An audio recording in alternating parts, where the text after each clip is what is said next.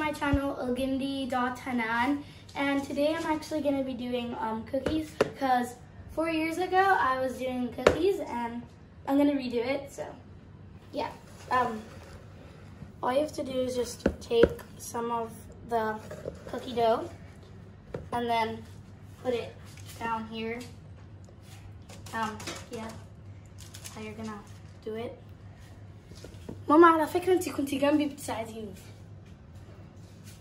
Stop. Okay guys, right now, um, we just, it just finished. Um, I did a couple, but the others were my mom, because I couldn't do anything. I'm really bad. Um, sorry. Uh, yeah, okay, bye. So guys, now we're gonna do the taste taste test. So let's get into it. Oh my gosh, so good. Um, I'm gonna try mine right now. So yeah, it's really good, but it's a bit hot. So yeah, bye, bye.